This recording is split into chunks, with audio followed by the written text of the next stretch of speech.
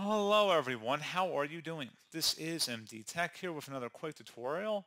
In today's tutorial, I'm going to show you guys how to hopefully resolve if you're coming across an issue with the MSVCP100.dll is missing error on your Windows 10 or Windows 11 computer.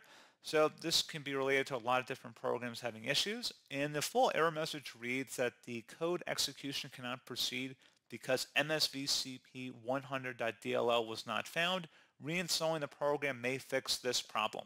So this should hopefully be a pretty straightforward process here, guys. And without further ado, let's go ahead and jump right into it. So first thing I recommend doing would be to actually just to reinstall the specific program you're having the problem with and see if it's able to correctly identify and locate those DLL files once it's been reinstalled. However, if you're still having a problem, we can attempt to open up the web browser of our choice, doesn't really matter. And you want to go navigate over to Google and search for Visual C++ redistributable. I know I misspelled it, but it doesn't really matter. Uh, so anyway, so go to the Microsoft domain here, so learn.microsoft.com. Go ahead and open that up. And we're going to scroll down on this page a little bit, select the Times 64-bit download.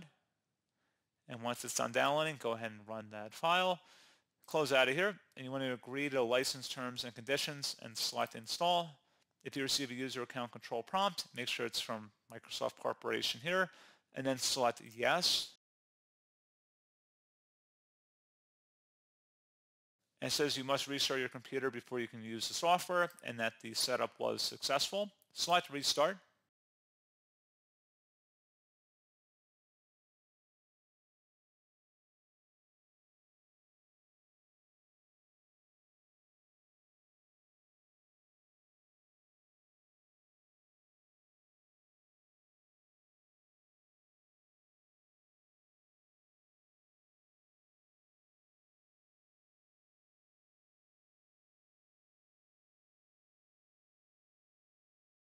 And there you go, guys. Hopefully this pointer issue has been resolved. And as always, thank you for watching. I do hope I was able to help you out, and I do look forward to catching you all in the next tutorial.